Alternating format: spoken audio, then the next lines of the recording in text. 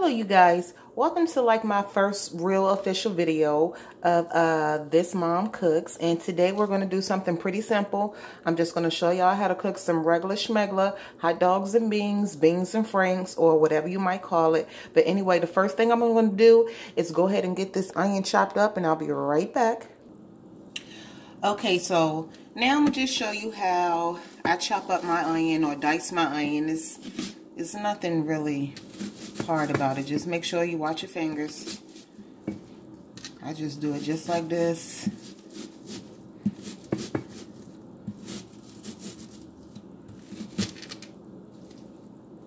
Be careful on this part.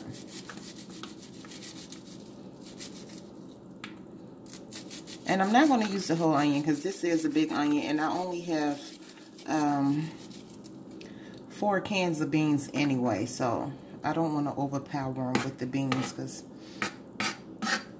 um, uh, the onions can be real potent for real, for real.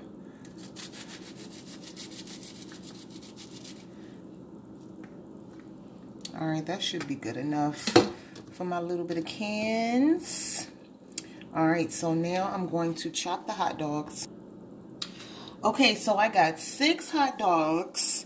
Um, you can use more or less if you want. I just like my franks and beans kind of meaty. And another thing I don't do, I do not boil my hot dogs. I don't like boiled hot dogs at all. I like my hot dogs with a little chard on them. Let them hot dogs sizzle in that pan a little bit before I just dump my hot dog in there. No light skin hot dogs. I like them a little burnt. But anywho, I'm going to go ahead and dice all of these up and then I'll come back and show you what I do next. Okay, so now that we got our hot dogs chopped up, we got our onions diced, we're going to go ahead, warm up your pan. I got my pan on like a medium, between medium and high heat, more medium than high. I got one half of a stick of butter, preferably Parkay. That's the best butter ever. Get you some. All right. I'm going to put that in there. And after that sizzles down a little bit, I'm going to dump my hot dogs in.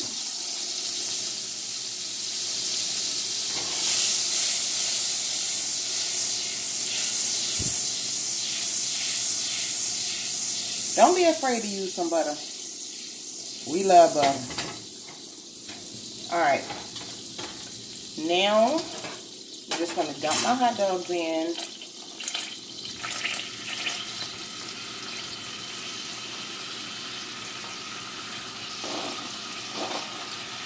Now this is something simple and fast that you can cook for the kids. You just got off of work, you don't feel like doing nothing, but they talking about, Mom, I'm hungry, I'm hungry.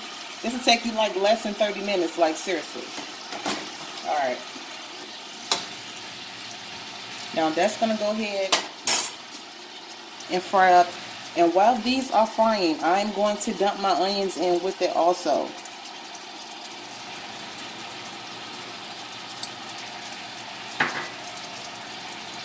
Now we're going to let these fry up a little bit. Go ahead and stir it up. Let it get kind of uh, all coated with that butter. We're going to stir this up. Let that sit for a minute. Toss a few more times till it gets to, you know, like the charredness that you want it to be. And then you're going to dump your beans right inside of the bowl. Well, inside of the pan with this. Alright. Now you guys see how it's starting to get that little brownness on the outside of the hot dogs? That's what I want. That's how I want mine to look. Look at that. Mm-mm-mm-mm-mm-mm. Yep. Alright, so now I'm ready to go ahead and pour my beans in. I got four cans. And make sure y'all wash those cans off before you just pop them open and use them. And I got beef hot dogs, by the way, by ballpark. For some reason, the beef ones have more flavor in it to me.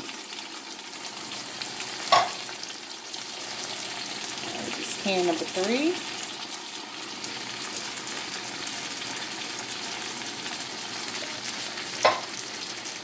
And can number four.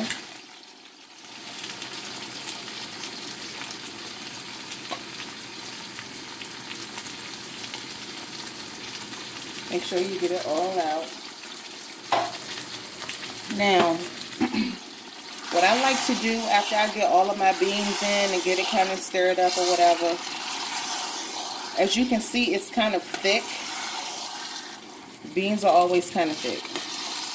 Well, the Campbell's ones anyway. That's why I like them. I don't like those other brand cans of um, pork and beans. Not to say that they're nasty. It's just that they're a little light color for me. I like my beans a little dark. And Campbell's always got the best beans. Alright. So now that we got that stirred up, I always like to add just a little bit of water. Because first of all, this is going to be cooking for a minute. I like to cook my beans for like at least 30 minutes after I add the hot dogs. And this that little bit of water will loosen up those beans. And it will not take away from the flavor. Alright, so now, you see how the consistency is now? A little looser, more pliable. now I'm going to add some sugar. Now you can add as much sugar as you want to. Don't overdo it though. Um, I don't like to put a lot of sugar in there, but I like to put enough to taste. And this right here is like four tablespoons.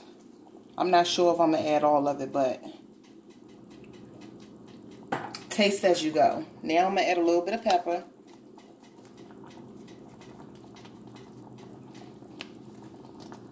And you can add salt if you want to. A lot of people add salt to theirs. I'm not going to put any salt in mine. And I only say that because I used a half a stick of Parkay butter. And, you know, that got a nice kick of salt to it. I've seen people put ketchup in their beans and franks. I don't, that's, that's not how I do mine. This is pretty much the way I do mine. Do yours the way you want to. You always grab a little bit of something from everybody. But alright, now what I'll do now is I will turn this down to like on my stove, I got numbers, so I'm going to say I'm going to turn mine down to 4. Then I'm going to cover, let simmer for 30 minutes or so, and then I'll come back and show you how it looks when it's done. Alrighty, it has been 30 or so minutes. Ta-da! That is what I want it to look like right there. Now, you can go ahead and serve. Look at that. Mm-hmm, mm-hmm. So now I'm just going to go ahead and plate.